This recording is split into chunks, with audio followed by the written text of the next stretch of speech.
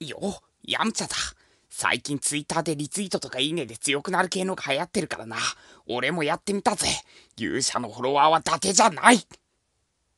プアル ?1 日目はどうだった？ヤムチャ様見ちゃいけませんよンですえ？というかこいつ誰？